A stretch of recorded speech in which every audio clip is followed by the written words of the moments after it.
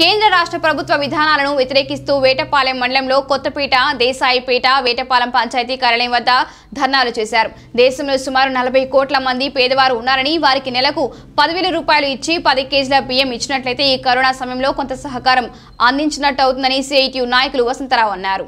ఇవ్వాలి ఒక నెల అదనపు వేతనం. చెల్లించాలి లాక్డౌన్ కాలానికి వేతనాలను. చెల్లించాలి. చెల్లించాలి లాక్డౌన్ కాలానికి వేతనాలను. చెల్లించాలి. తొలగించరాదు ఎవరిని ఉద్యోగాల నుండి. తొలగించరాదు. ఎవరిని ఉద్యోగాల నుండి. తగ్గించరాదు షాపుల్లో పరిశ్రమల్లో వేతనాలు తగ్గించరాదు. తగ్గించరాదు. సంస్థల్లో షాపుల్లో పరిశ్రమల్లో వేతనాలను. వాళ్ళని తిండి తిప్పలు వాళ్ళ గురించి పట్టించుకోకుండా మీరు ఇళ్ళలోనే ఉండాల్సిందే బయటికి రాకూడదని చెప్పని చెప్తే ఎలా జీవించాలి అని చెప్పని ఇవాళ కేంద్ర ప్రభుత్వం ఆలోచించిన పరిస్థితి ఉంది.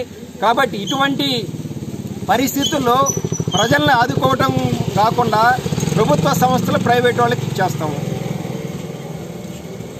అట్లాగే ఇరవై లక్షల కోట్ల ప్యాకేజీ వాళ్ళకి పెద్ద పెద్ద పారిశ్రామికవేత్తలకి కట్టబెడుతున్నారు. మరి నువ్వు మన ప్రజలను ఆదుకుందేంది? ప్రభుత్వ సంస్థలు ప్రైవేటీకరణ ఇస్తానని చెప్పి అంటున్నావు. ఇవాళ వ్యవసాయంలో రైతులు కూలీలు పెట్టుబడులు రాక రైతులు ఆత్మహత్య చేసుకుంటున్నారు. దేశం మొత్తమే సంవత్సరానికి రెండు వేల మంది నుంచి ఐదు వేల మంది దాకా ఆత్మహత్య చేసుకుంటా ఉన్నారు.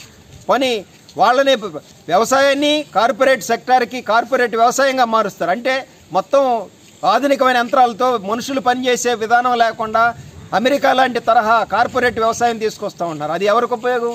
వ్యవసాయ కూలీలు ఏం చేయాలి? కాబట్టి ఈ సందర్భంగా మేము డిమాండ్ చేసేది ఒక్కటే. దేశంలో ఉన్న ప్రతి కార్మిక కుటుంబానికి పదివేల రూపాయలు ఇవ్వాలి. ప్రతి నెల పది కేజీ లెక్కన బియ్యం ఇవ్వాలి. ఇవాళ ఏడు కోట్ల టన్నుల ఆహార ధాన్యాలు దేశంలో గోడౌన్లో మూలుగుతూ ఉన్నాయి. ఇచ్చినా ఇబ్బంది ఏం లేదు. కాబట్టి అలాగే స్కీమ్ వర్కర్స్ ఇవాళ కరోనా డ్యూటీ చేస్తున్న ప్రాణాలను కూడా లెక్క చేయకుండా పంచాయతీ కార్మికులు ఈరోజు వాళ్ళ మున్సిపల్ సిబ్బంది కానీ ఆశా వర్కర్స్ కానీ ప్రాణాలు కొర్చి వాళ్ళ పని చేస్తూ ఉన్నారు. వాళ్ళందరినీ మేము పర్మనెంట్ చేయమని చెప్పని డిమాండ్ చేస్తూ ఉన్నాం.